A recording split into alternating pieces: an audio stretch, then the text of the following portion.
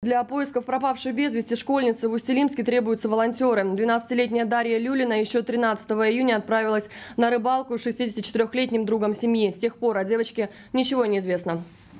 Спустя несколько часов после обращения в полицию матери школьницы было обнаружено тело мужчины. Предположительно, он утонул. Сейчас ребенка разыскивают более 50 сотрудников полиции, спасателей, в том числе кинологи. Также помогают им и местные жители. Чтобы увеличить территорию поиска, и требуются дополнительные силы в лице волонтеров. Чем больше человек откликнется, тем больше шансов быстрее найти Дашу.